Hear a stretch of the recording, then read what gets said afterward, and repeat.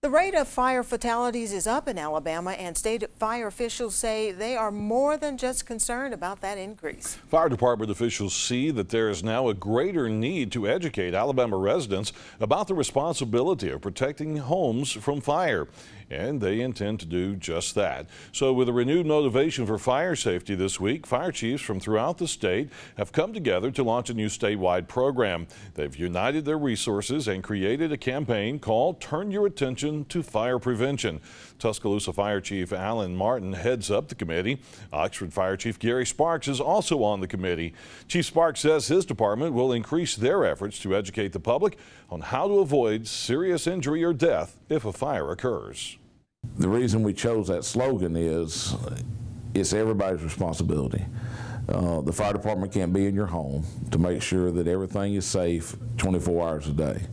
So it's your responsibility to make sure. Fire officials say that there were a total of 81 fire fatalities for all of last year and that current deaths related to fires uh, supersede that by more than half from last year.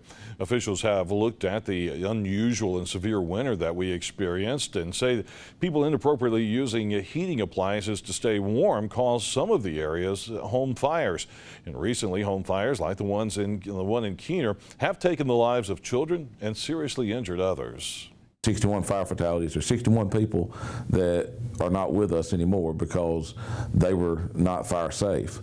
Out of those 61, the state fire marshal said that 54 of those were preventable. So that's 54 people that had they followed good fire prevention rules that they would still be